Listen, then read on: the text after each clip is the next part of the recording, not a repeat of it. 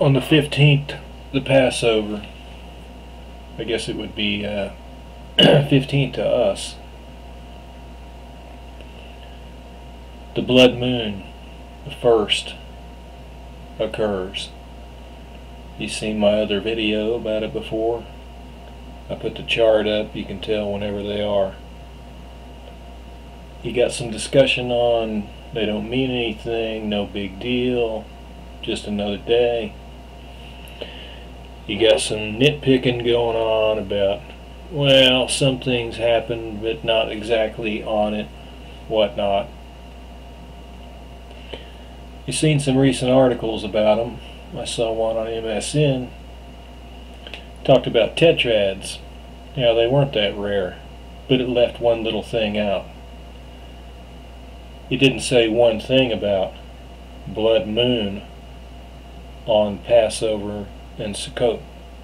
Not one thing. Didn't mention anything about falling on those holy times and how rare that was. I think it's eight times in 2,000 years. Is that rare enough for you? Eight times, I think, in 2,000 years? That's big. So, there's several different things that have uh, historically occurred. Maybe not right dead center on those days, but the year before or the year after in the gen in that time frame. Oh, you cannot mark this off as another day. This is the God's meeting time with you, the Creator, the guy who made everything, whose kingdom you will enter into at the end of your lifetime, or not. He did say he created the sun and the moon. Well, one thing he said was for signs. So it's his appointment time. It's his meeting time. He doesn't fly an airplane over in the sky with a big banner behind it with writing on it that describes to you what he's saying. He uses these objects that you can look up and see as a signal to you and me.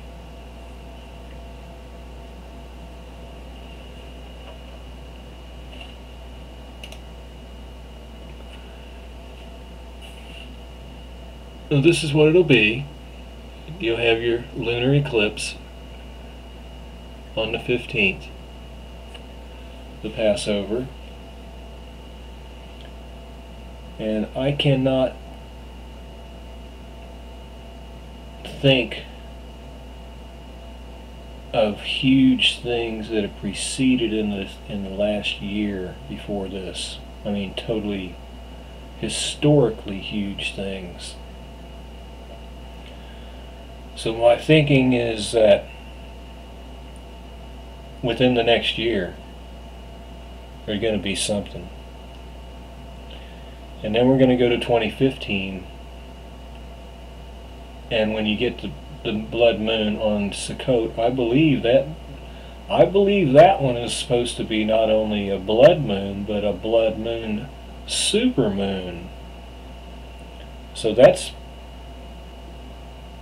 even more rare, I would think, to have a supermoon that's going to be a blood moon on another Jewish holy day. so we have to realize not only is this rare, not only is this special, not only is this historic, but how truly lucky we are, even though things suck like they do in the world as it is you know, a large majority of it, we are privileged and blessed to live in the time that we do. If we are the last generation and we are living in the end time,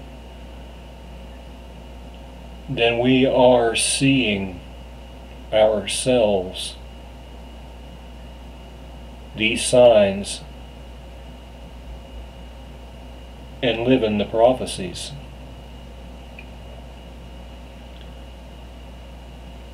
Now, it's going to come a time pretty quick. You're going to make a choice. You're not going to have a, an option. The atheists, the agnostics, the non-Christians, you're going to have a last chance sooner or later to make your choice. Either come to Him and acknowledge Him as the one and only God. Either believe Jesus died for you and open a doorway to forgiveness and salvation. Washed your sin clean and erased it.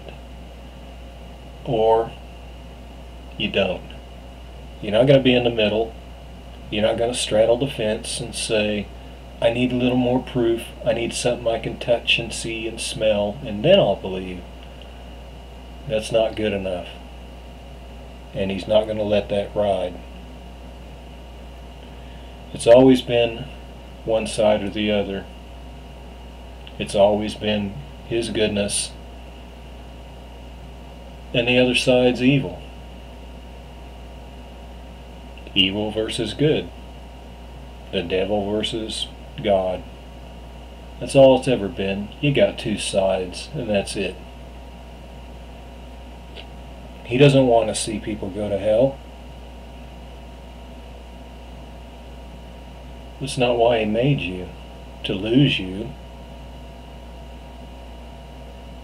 He's got faith in you. You need to come to him and believe in him and live right and have faith in Him. There's so many evils in the world. I don't know if I can even just describe every single one of them, but it is getting worse. There is no doubt about that.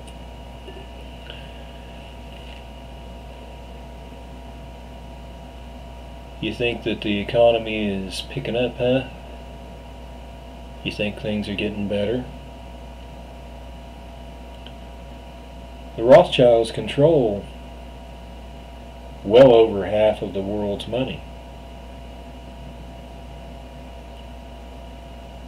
And you know, they play for the other team, the evil team. So many others play for the other side also in conjunction with them.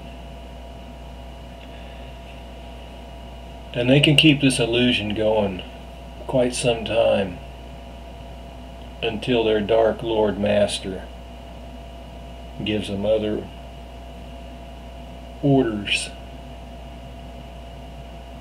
But it's coming pretty soon down the pipe when things are going to change for the dollar. because if you listen to V, the guerrilla economist, and think about what he's saying about these new trade agreements being made with China and a lot of other nations that are going to have the biggest trading block on the planet once they all get together and do it. And you see so many of them that are wanting to move away from the dollar. And when you understand the dollar has nothing backing it up, you know, the petrol dollar, we no longer back it up with gold or anything, then you understand that it doesn't just have to be a piece of paper that you can wipe yourself with after you go to the bathroom, as in valueless. You'll still have your pieces of papers with the numbers on them, but when it becomes basically not traded in, the worth falls and you see that in way way higher prices for what we will be buying. If you think food's high now, if you think gasoline's high now, clothes, consumer goods, we haven't seen anything yet when they decide to move away and the rest of the world trades in something different. That doesn't mean that it's a one world currency come yet. It means harder times and more of a big squeeze for you and me.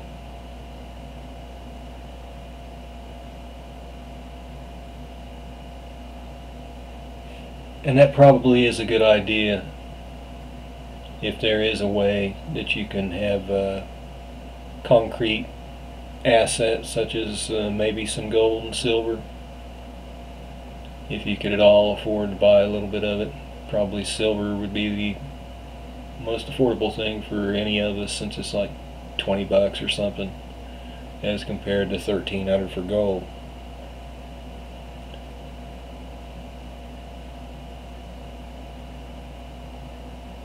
but you can see it coming. And the Ukraine situation is is is not what everybody thinks it is. Our country has become an evil country. Our country does go help overthrow other people's governments and install puppet leaders. They do. They really do.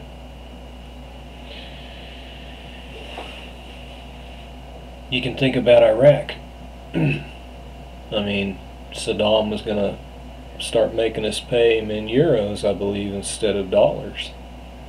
I think Gaddafi was going to do the same thing. Now, the scumbags that they were and the evil that they did, they did. Nobody's arguing that they didn't. But doesn't it strike you odd that they're dead now? And they were going to basically tell us to screw ourselves and we're not going to take your buck no more. You go take your bucks and you go get euros to pay us in. And there's some other things mixed in there too, but I don't really have time with the, what's left to, to get into that. But we seem to have gotten our hands caught in the cookie jar in the Ukraine. Russia's not the the save all, the good guys save all, not by far.